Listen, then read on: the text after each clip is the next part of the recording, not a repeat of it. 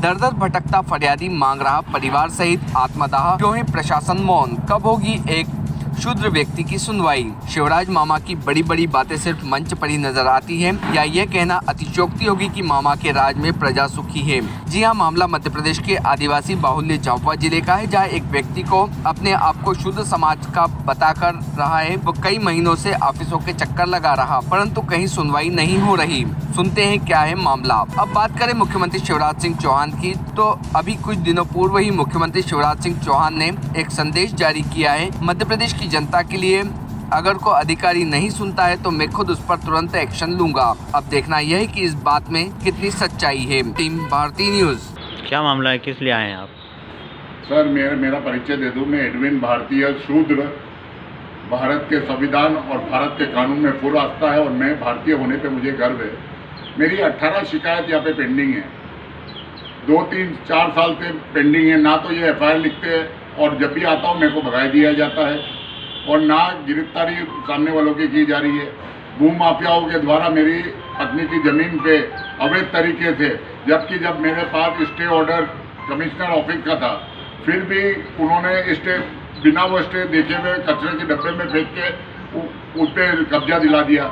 अंबेडकर साहब की जो मूर्ति थी अंबेडकर जो भारत के संविधान के निर्माता भारत रत्न, जो लोगों के लिए सिर्फ़ भारत संविधान के निर्माता है, लेकिन हमारे लिए देवता है उनकी मूर्ति तोड़ ताड़ के कचरे के में फेंक दी गई है। अभी तक कोई सुनवाई नहीं है।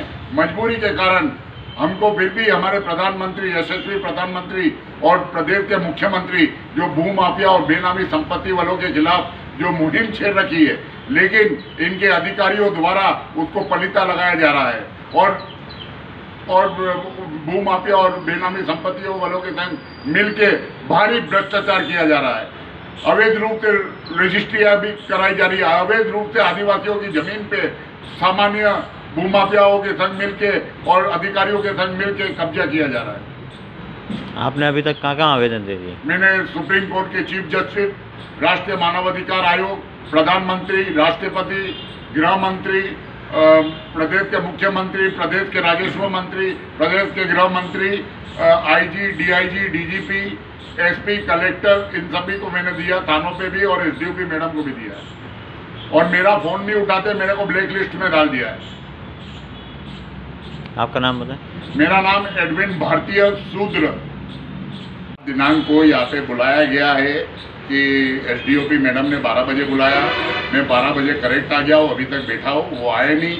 और अगर वो नहीं आते तो कांग्रेस की रैली मध्य प्रदेश राहुल गांधी के नेतृत्व में जा रही है।